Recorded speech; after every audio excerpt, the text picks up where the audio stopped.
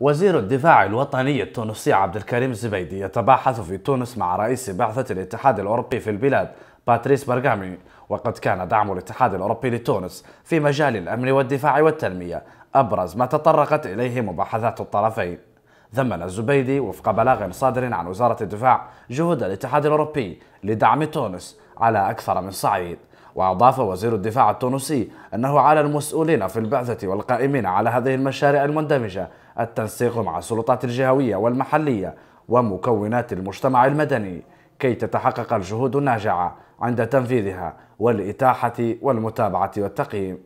وقال الزبيدي إن وزارة الدفاع مساهمة في جهود الدولة في مجال تكوين الشباب عبر مراكزها التكوينية المهنية البالغة 12 مركزا إضافة إلى مركز لتكوين المهني المختص في الغوص والأنشطة تحت المائية. سينطلق عمله في شهر أكتوبر القادم. من جهة عبر برغماني بالمناسبة عن سعي الاتحاد إلى بعض مشاريع مندمجة بمناطق الجنوب لفائدة الشباب والمساهمة في تركيز مركز للتكوين المهني بولاية السيدي بوزيد تتوفر فيه اختصاصات تستجيب لواقع التنمية بالجهة.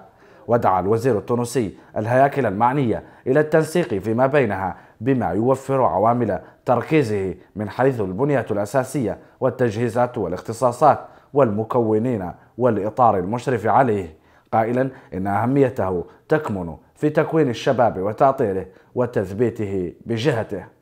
وتعاني تونس منذ سنوات مشاكل اقتصادية وأزمة بطالة دفعت بالشام محمد البوعزيزي المنحدر من ولاية سيدي بوزيد إلى إضرام النار في نفسه وتفجير ثورة الرابع عشر من يناير 2011 كما أظهرت دراسة أجريت مؤخرا استعداد نسبة معتبرة من شباب البلاد للهجرة لأسباب اقتصادية وقد خصصت تونس لاحتواء المشكل نحو 220 مليون دولار للعام الحالي.